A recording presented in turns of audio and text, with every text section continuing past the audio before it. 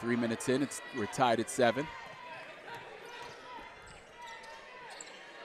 Painter tries another three, knocks it down.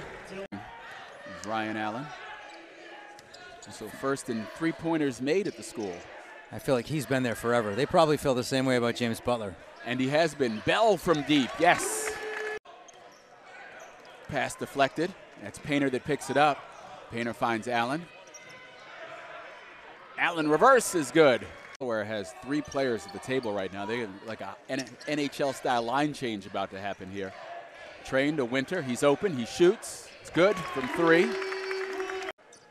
They both shoot like that for the whole game. Allen uh, Bell leaves one behind. And see if Carr can finish, and he does with two hands. Under a minute remaining here in the half. Dragons down 10. Nelson steps in front of one. Just That's plays with Coletrane down the floor.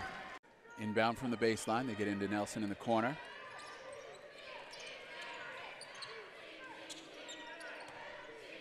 Nelson, very patient offensive player.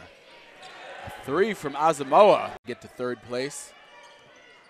And seems like he's going to get there this year. Cam along the baseline, reverse. No, but look at the follow up by Williams. Wow.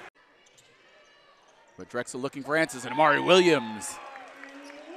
Plenty of time. 12 minutes left. Got to get some stops. That's the first thing. The Dragons have made back to back stops for the first time in a while.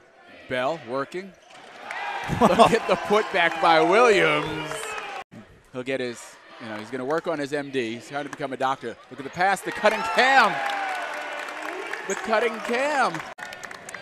You are within striking distance. Allen, open, shoots, makes.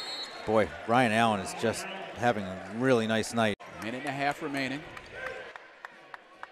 Delaware content to chew on some clock cookies here. Allen makes his move, drops it off for Carr, who slams it home.